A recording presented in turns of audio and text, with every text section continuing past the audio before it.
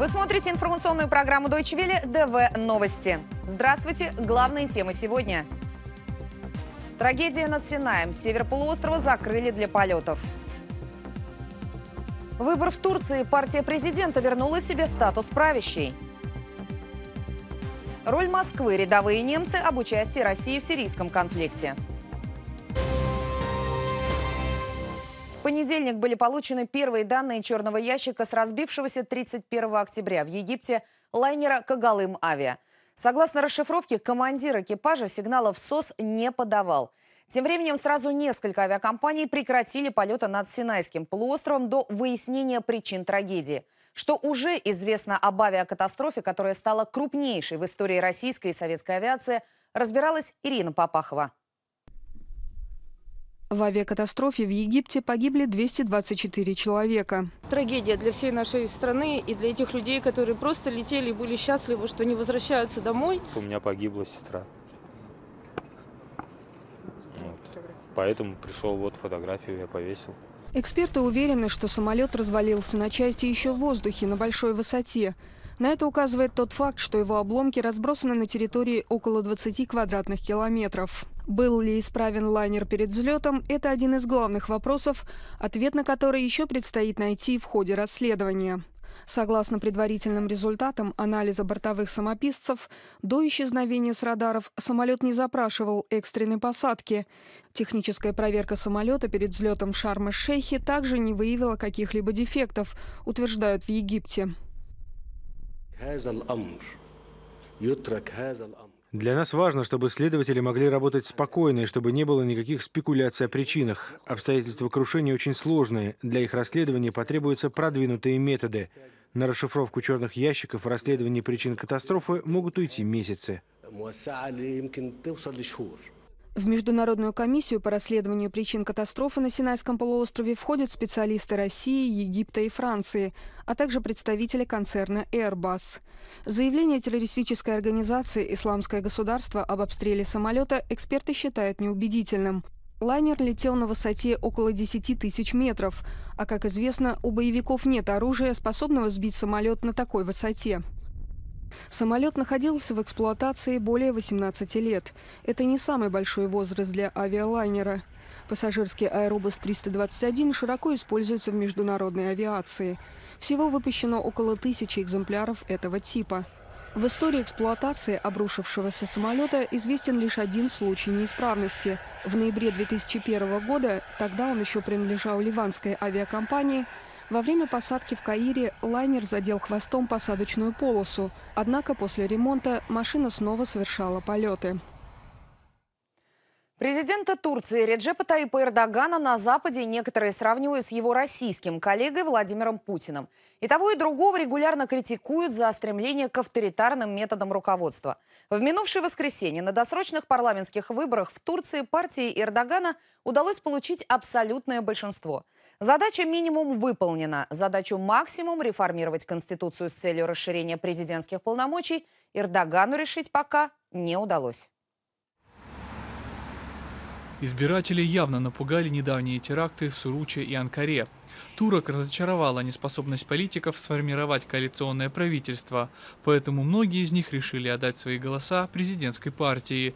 Именно на это во время избирательной кампании и делал ставку Эрдоган. Народ проголосовал за стабильность, начиная с 1 ноября. Люди приняли это решение.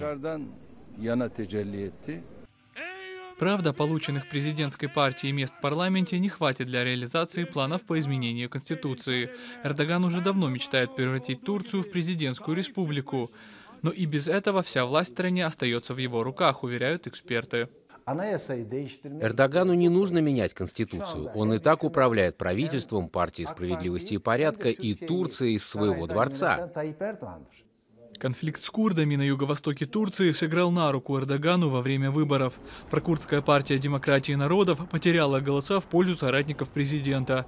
Теперь, когда выборы позади, люди в регионах, где проживают курды, надеются на примирение. Мирный процесс должен возобновиться немедленно. Нужно начать переговоры с курдским лидером Абдуллаком Аджаланом, а также необходимо прислушаться к прокурдской партии демократии народов. Явная победа партии Эрдогана может быть выгодна Евросоюзу, ведь Турция способна сыграть особую роль на переговорах по разрешению конфликта в Сирии. На победу соратников Эрдогана отреагировали и рынки. Индекс Стамбульской биржи показал максимальный рост за последние два года, вырос и курс турецкой лиры. Германия, которая в этом году столкнулась с небывалым наплывом беженцев, считает Турцию ключевым игроком в этом вопросе. Только в октябре, по данным ООН, опубликованным в понедельник, в Евросоюз прибыли почти 220 тысяч нелегальных мигрантов. Германия, как и большинство других западных стран, уверена, с началом военной операции России в Сирии их число только возрастет. Такова позиция официального Берлина. А что думают о действиях Москвы рядовые немцы? С этим вопросом к ним обратился мой коллега Александр Прокопенко. Российская операция в Сирии продолжается уже более месяца, однако эта тема по-прежнему занимает важное место в немецком информационном поле. С интересом Германия наблюдает и за тем, как Россия и США пытаются захватить пальму первенства в решении сирийского вопроса. Как оценивают ситуацию обычные граждане? Мы провели нерепрезентативный опрос и спросили немцев, что думают они о действиях России в сирийском конфликте. Я вообще толком ничего не понимаю. Россия сражается на стороне Сирии против исламского государства и решает там свои проблемы. Москва нажимает на те же самые кнопки, что и западные страны в борьбе с ИГ. Вообще надо как-то иначе помогать. Нужно работать с другими странами. Не думаю, что Россия в одиночку должна участвовать в решении конфликта. Считаю, что обсуждать это надо на глобальном уровне. Я думаю, конфликт только усилится и затянется, и это не решение вопроса. Ситуация в Сирии страшная. Я понимаю людей, которые оттуда уезжают. Война в целом вообще бредовая идея, но кто-то должен прекратить ее. У людей должна наступить спокойная жизнь в их стране. А что говорят эксперты и статистика? По словам наблюдателей, в Германии отмечают тот факт, что исламское государство с момента начала военной операции западными странами сумело расширить свою территорию, а это не в интересах Европы и Германии. Привлечение России к решению сирийского конфликта в значительной степени поддерживается в Германии. У нас есть данные репрезентативных опросов населения. Они четко показывают, что есть желание разрешить конфликт совместно с режимом Асада. Есть желание привлечь Россию к поиску решения. Также большинство немцев поддерживает военное вмешательство в Сирии. Однако стоит отметить, что согласно тем же опросам, большинство жителей Германии выступает против отправки Бундесфера в кризисный регион.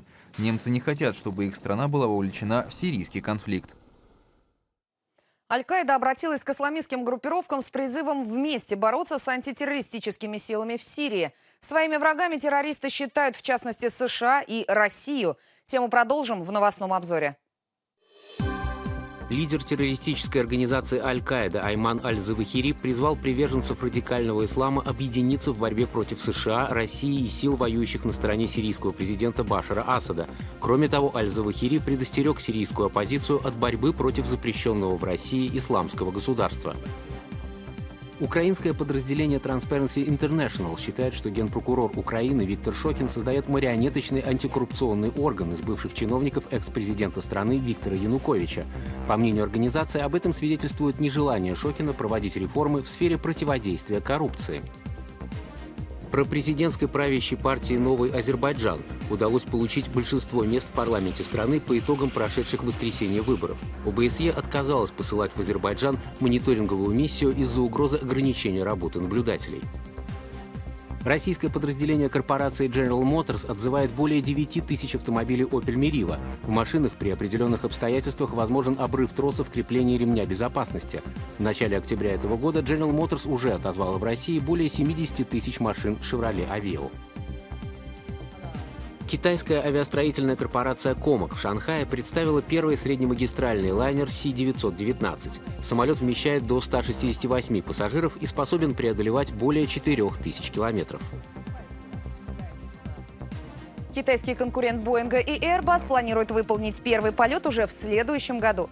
Последние новости читайте на сайте Deutsche Welle, а ДВ Новости расскажут о развитии событий уже на следующей неделе, в том числе и на каналах наших партнеров.